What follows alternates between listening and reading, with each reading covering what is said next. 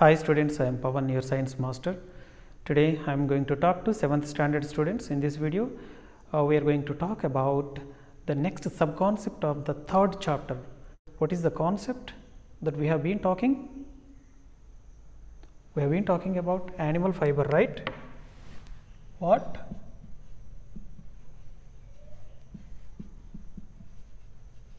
Animal fiber.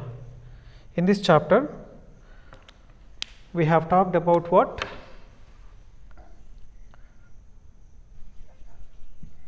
Moth to egg, egg to cocoon, and cocoon to stifling. Stifling is the process of boiling cocoons to get fine silk fiber.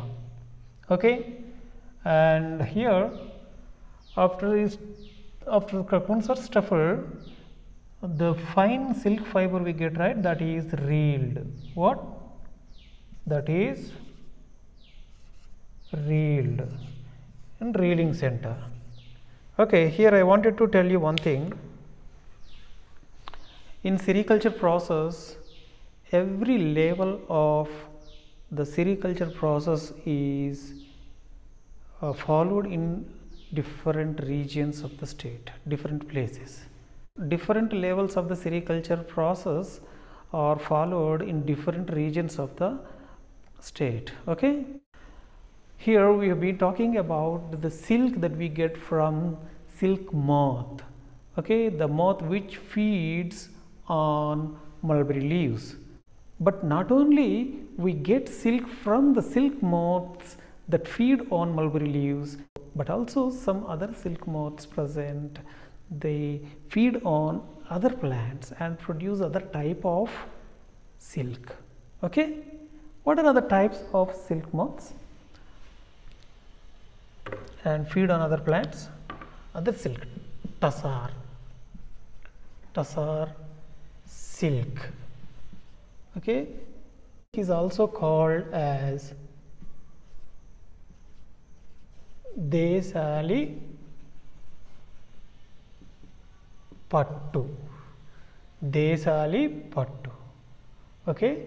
Usually some special you know some uh, special species of silk moths feed on terminalia plants. Terminalia plantation. You know some special species of silk moths feed on terminalia plants and they produce tassar silk. The, the special species of silk moths feed on these terminal plants and they lay eggs and they produce this type of silk, right? And not only these other types of silks also produced by other species of silk moths. That all you will study in your higher classes, but uh, let us only know some information about this. And this tassar silk and desali pattu, tassar silk or desali patu is uh, read by uh, tribal people in our state. Tribal people. Tribal people of our state. You know mostly this terminalia plantation uh, is you know concentrated in different states of our different districts of our state like karimnagar karim nagar next Adilabad,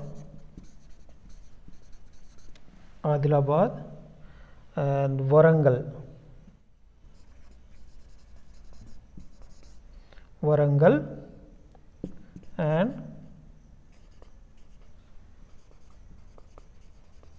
Khammam.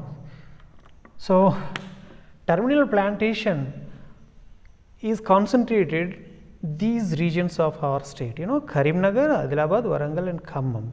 So, mostly the tribal people living in these regions, they you know uh, they cultivate this type of silk moths. They, they grow this they grow this type of silk moths there. And Tassar desali silk moths. Okay, and this is about the additional information that you uh, have to understand. And next, uh, after we get the silk after it is reeled uh, the next level of the sericulture process uh, here what I would like to tell you is after the fiber is reeled after fiber is what fiber is reeled reeled fibers you know uh, 3 to 8 fibers together twisted twisted or 3 to 8 fibers are twisted uh, by machines uh, twisted by twisters. After it is twisted what happens? That becomes what? Yarn you know?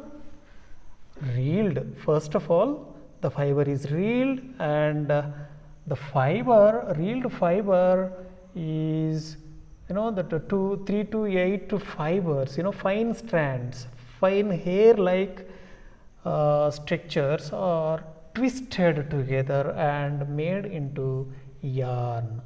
Okay, this yarn is, you know, uh, bleached or cleaned, washed. The further stages of sericulture process in obtaining silk fiber, silk yarn, okay, silk yarn. After yarn is produced, it you know uh, colored, colored combing is done in reeling process before reeling because there may be so many fibers and then the, the fibers uh, will be twisted together irregularly then that is combed and made regular fiber and that regular fibers are like you know 3 to 3 to 8 fibers are collected and twisted and made into yarn and bleached, cleaned, washed and colored. The colored yarn is used uh, to make fabric. Okay, how fabric is made using the silk yarn that we will study in the next class students. Okay? Like this. Fabric is nothing but what? Fabric is nothing but cloth. Okay? Yarn is used to make fabric. Okay students so in the next class we will be studying about the next level of the sericulture process in this process to get final fabric right. So, how do we get fabric from the silk yarn that we will study in the next class students okay and you please follow uh, follow the text that what I have written on the board write in your notebook and present it in our WhatsApp group students. Thank you. Thank you for listening.